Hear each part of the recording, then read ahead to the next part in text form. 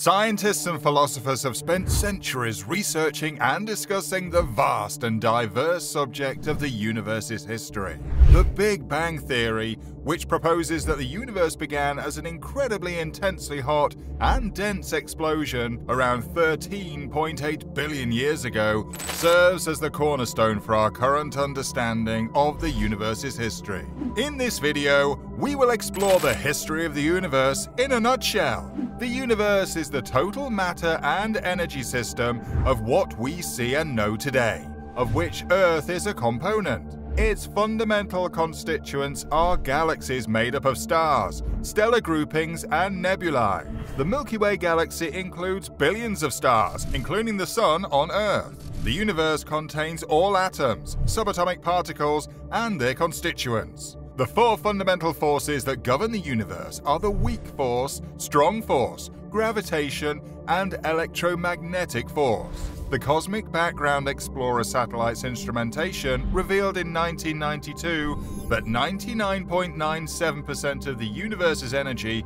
was emitted in the first year following its birth. This information appears to support the Big Bang Theory, which states that the universe was created by one cataclysmic explosion of a minuscule amount of intensely hot and dense matter known as the Big Bang. Astronomers believe that 99% of the universe's matter is dark matter, which is made up of dark or invisible matter that is hard to find. The details of what happened at the moment of the Big Bang are not subject to any commonly accepted theory. Using current physics theories and principles, we can deduce that the universe had infinite temperature and density at the precise moment of creation. This implies that no physical theory can explain what happened during this period. In the first minute fraction of a second after the Big Bang, the universe went through a phase of tremendous expansion known as inflation. The most plausible hypothesis is that the cosmos appeared and then expanded at an extremely high rate in the first minuscule fraction of a second. The cosmos has continued to stretch and cool since then. Due to the high heat and density, the universe was built up of a few distinct particles in this minute fraction of the first second. You've probably heard about the recently discovered Higgs boson, which can be seen for a split second in the harsh conditions produced by particle accelerators, like Switzerland's Large Hadron Collider. These are not visible under normal circumstances. The Higgs boson most likely existed in the first minuscule fraction of a second of the Big Bang. Even though the temperature was close to a trillion degrees Celsius, the universe began to cool and expand swiftly as soon as it reached a second old. As a result of this expansion, the universe cooled and stretched, resulting in the formation of subatomic particles such as protons, neutrons, and electrons. Because atoms cannot exist at such extreme temperatures, neither of these particles could link to form atoms. Approximately 10 seconds after the Big Bang, the universe had cooled to a billion degrees in temperature. This temperature is suitable for the existence of atomic nuclei. The universe served as a giant nuclear reactor. Hydrogen nuclei became converted into helium nuclei in three stages. The reaction has two unique pathways, yet both lead to the same result. Two protons and two neutrons unite to form a helium nucleus, which emits a large amount of energy. Finally, these particles bonded to form atoms, predominantly helium and hydrogen. The universe became translucent due to the absorption of free electrons during this phase, known as recombination. The light emitted at this epoch can now be detected using the radiation from the cosmic microwave background. However, before stars and other light things were formed, there was a period of darkness following the recombination phase. The universe constantly evolved over the next billions of years. In the early universe, the matter was drawn gravitationally to higher density regions. This gravitated matter subsequently became galaxy clusters and elongated filaments of gas and dust, resulting in the breathtaking filamentary cosmic web seen today. As the universe expanded, matter began to build up due to gravity, giving rise to galaxies and stars. There is still a lot to understand about how galaxies, which contain hundreds of billions of stars, originate. The bottom-up theory, which has recently acquired popularity, is one such theory.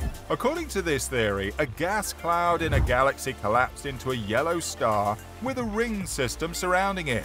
These rings eventually merged to form the star system that we live in today, including the eight planets and several moons, comets, dwarf planets, and asteroids. This theory either resulted in Earth, the planet third from the central star retaining a considerable amount of water, or comets subsequently transporting a flood of ice and water to the planet.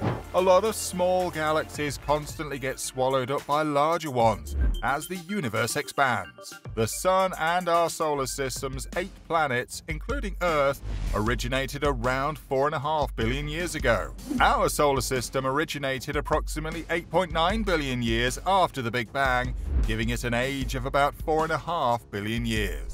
The Sun circles around 24,000 light years from the galaxy's center and is one of over 100 billion stars that comprise our Milky Way galaxy alone. Many scientists believe that the solar nebula, a vast spinning cloud of gas and dust, was responsible for the development of the Sun and the rest of our solar system. And as gravity caused it to compress, the nebula began to spin faster and flatten into a disk. Throughout this phase, a bigger portion of the material was drawn into the center, resulting in the formation of the Sun. Our Milky Way galaxy is said to have formed a little more than 1 billion years ago. Smaller galaxies that the Milky Way has absorbed throughout its long existence are still there as remnants within the Milky Way. The Milky Way is actively digesting at least two tiny galaxies, and possibly more will get dragged in over the next 100 million years. Old stars, also known as population 2 stars, are found in a halo surrounding the Milky Way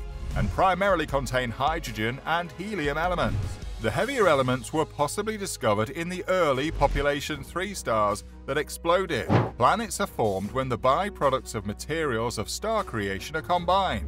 Rocky planets like Earth, Mars, and Venus cannot orbit population 2 stars because elements like iron, oxygen, and silicon are only present in trace amounts. The Sun and other younger population 1 stars can be located in the disk and the bulge at the galaxy's center. These have a higher concentration of heavy elements and are expected to be host to numerous planets. Over the next billion years, stars and galaxies continue to form and change. Some stars eventually ran out of energy and died, triggering nuclear fusion and the production of heavier elements. These heavier substances, such as iron, oxygen, and carbon, eventually created planets and other planetary systems. The Earth's environment eventually improved to the point that life could flourish, allowing single-celled organisms to emerge initially, followed by more complex living forms such as plants and animals. The current diversity of life is the consequence of many different diversities of life evolving and becoming extinct as the planet's climate and environment change over time. Humans are one of the most recent species to originate on Earth, with a roughly 200,000 year history and noteworthy achievements in culture, science, and technology. Astronomers began to theorize in the 1960s and 70s that the universe may contain more mass than what is seen with the physical eyes. Vera Rubin of the Carnegie Institution of Washington measured star velocities in various galaxies. Rubin detected no difference in the star's velocities further out, contrary to what fundamental Newtonian physics would predict.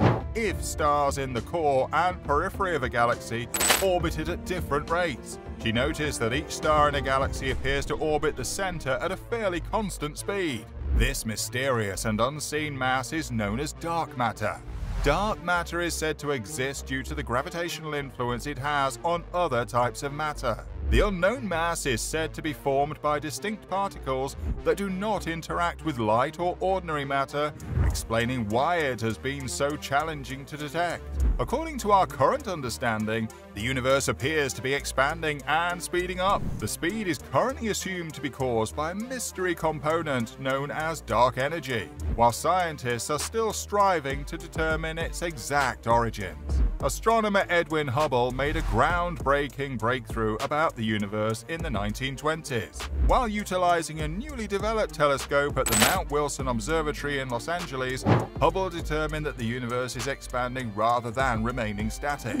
Years later, in 1998, the Hubble Space Telescope, named after the famed astronomer, determined that the universe used to grow more slowly than it does now. Scientists were taken aback by this discovery because it had long been expected that the universe's gravitational force would cause it to slow down or possibly stop expanding. The mysterious and unexplained dark energy is said to be the strange force pushing the cosmos apart at breakneck speed. The presence of this unknown energy, which is said to make up 80% of the universe, is one of the most fiercely disputed subjects in cosmology. Well, the story does not finish there. The history of the universe is one of development and change, from the hot, dense singularity of the Big Bang to the formation of stars and galaxies, and finally to the appearance of life on Earth. Scientists are still studying and trying to understand the universe's history. Despite the quantity of knowledge collected, many mysteries about the universe's origin and evolution remain unresolved. Even though dark matter and dark energy remain among the greatest mysteries, cosmologists continue to explore the cosmos to discover more about how the world came to be. In one conceivable future scenario, the universe will keep expanding endlessly, long enough for all the stars in all the galaxies to run out of energy and even black holes to fade into oblivion leaving behind a lifeless universe full of inert energy. Or the gravitational pull will finally overwhelm the expansionary force of dark energy, bringing all matter back together in a process known as the Big Crunch, which is a form of reverse Big Bang. Dark energy could also hasten the universe's dispersion, resulting in the Big Rip, in which the universe splits apart from the inside out. In addition to continuing to search for elusive dark matter, the James Webb Space Telescope, which launched in 2021, will also use its infrared instruments to look into the past and study the evolution of the universe. We can better understand the universe's origins and evolution by studying its history, which is an interdisciplinary subject that draws on the study of physics, cosmology, astronomy, geology, and biology. And that brings us to the end of this video. How do you think the universe will end? Let us know in the comments section. Remember to like, subscribe, and click on the notification bell to get notified when we post a new video.